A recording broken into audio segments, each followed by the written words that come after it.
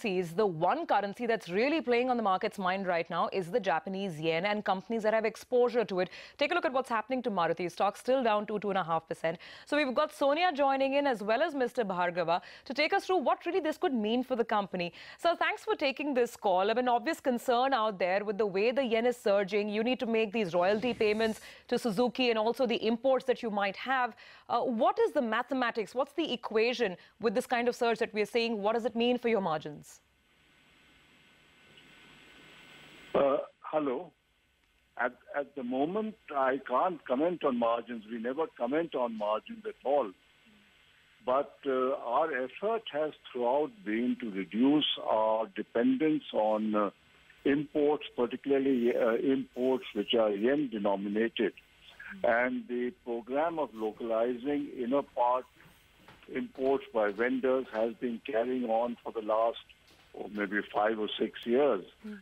And that has paid off in terms of reduced imports and uh, much greater local content.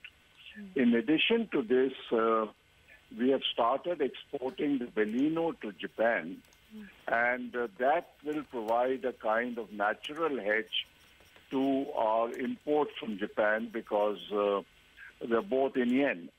So that will uh, bring down the dependence on the yen imports. So overall, I would say that uh, the impact of uh, fluctuations in the yen, either way, are not going to be as much now as they used to be in the past.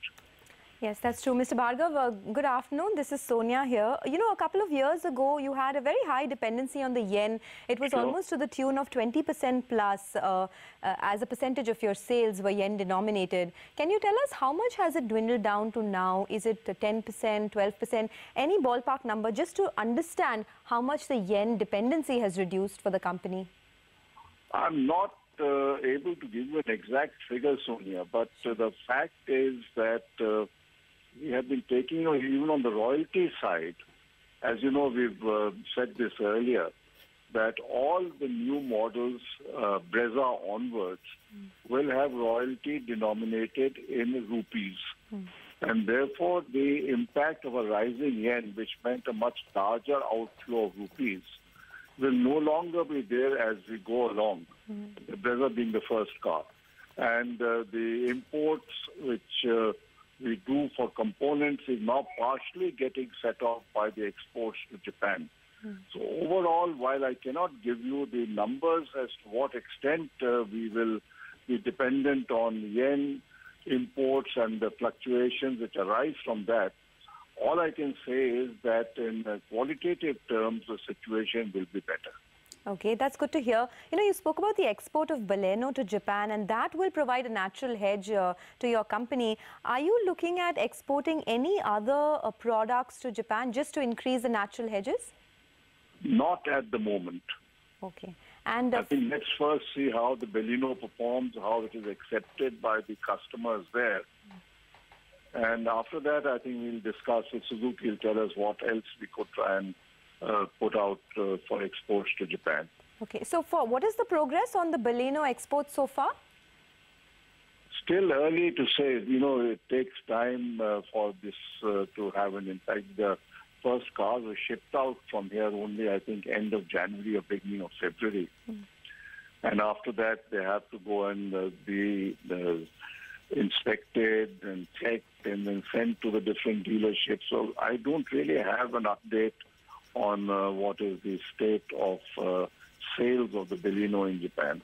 Okay, so the, uh, from the beginning of uh, February, the first cars have been shipped out. So if you can just tell us, you know, what the, uh, I mean, my colleague was asking you about the margin impact. You won't be able to quantify in numbers for us. But the fact of the matter is that the margins have been very, very steady despite the strengthening of the yen. I mean, even in the quarter gone by, the margins were at almost 15.5%.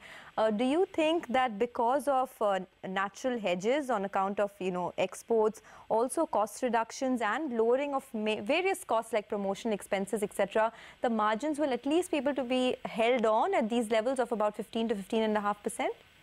Sonia, I'm afraid I can't comment on the margins. Okay. All right, Mr. Bhargav, we leave it at that. Thank you for uh, joining us and clarifying that to us. So, uh, as the management said, uh, the dependency of the yen uh, you know, on their uh, earnings has reduced quite a bit. Uh, the numbers that we have is that earlier from about 20% of uh, their um, sales were yen denominated. Now that has reduced to about 14%.